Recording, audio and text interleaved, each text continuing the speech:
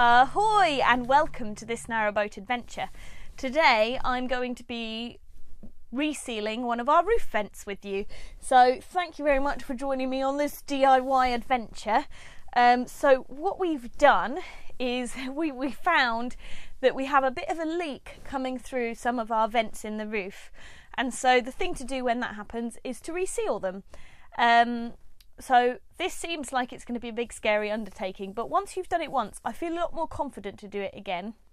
Um, so I videoed one of the, the events that we resealed, um, and it certainly wasn't the first one because the first one took a lot longer and was a bit more of a, let's just say, a slow, messy affair. um, so the first thing to do is to take off the vent.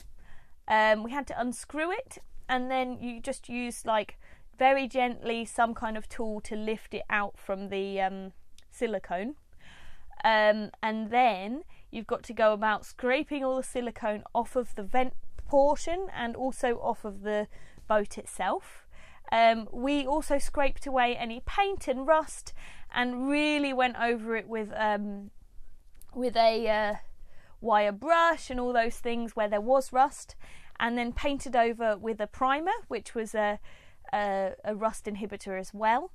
Um, we did two coats of primer and then two coats of top coat, and so that took quite a long time to wait for it to dry. And thankfully, this was the week before the cold weather started, because uh, goodness knows what would have happened had we been having a leak while all this snow and cold weather's been going on. It's important to note that when you paint it, you need to make sure that you can still find the screw holes for your screws. We actually replaced ours with bigger screws because the ones that were originally in there weren't actually going through the boat.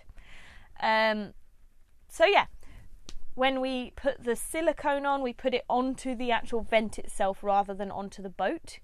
Um, and then once we had it in place, we screwed it in, and then we put extra silicone around the edge and onto all the screw holes it wasn't a difficult job, but it was a long job because as we repainted the area around the vent, we had to wait for the paint to dry each time, which often would be 24 hours before you could put the next layer on.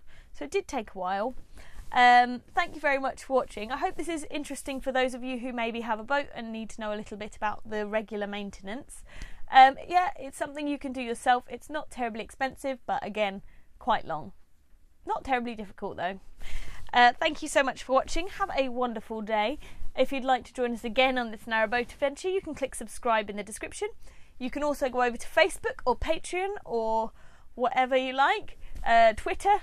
Yes, I'm on Twitter now. Um, thank you so much for watching, and I'll see you next week. Bye!